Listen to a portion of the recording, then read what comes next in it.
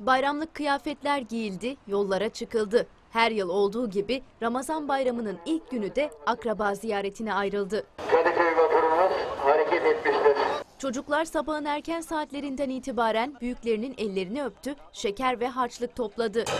Sen? Ee, ben de 40 lira topladım. Kimi az, kimi çok harçlık aldı. Ben mi? 100 lira. 25. Kim ne kadar verdi? Babam 10 lira, amcam 10 lira. Harçlık toplamaya geç başlayansa biraz buruktu. Ne kadarın var? Sıfır. Harçlıklarını alan çocuklar soluğu Luna Park'ta aldı. Bayramın gelmesiyle birlikte çocukların vazgeçilmez eğlencesi olan Luna Parklarda dolmaya başladı.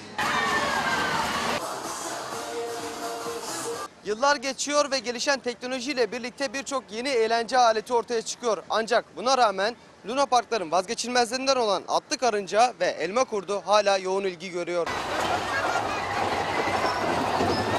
Luna Park'ta dart severler için de bir bölüm ayrılmış durumda. Biz de birazdan şansımızı deneyeceğiz. Bakalım ne kadar başarılı olacağız. Hep birlikte göreceğiz.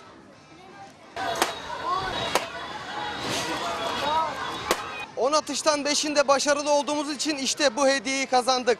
Bayramı İstanbul dışında geçirmek isteyen binlerce kişi günler öncesinden yola çıkmıştı. İstanbul'da kalanlarsa vaktini sahilde değerlendirdi. Kimi vatandaşlar boğaza olta attı. Bütün ailemi yolladım köye, memlekete. Ben de bayramdan sonra çalışmak zorundayım. O yüzden balık tutmaya geldim. Birazdan masayı kurarız.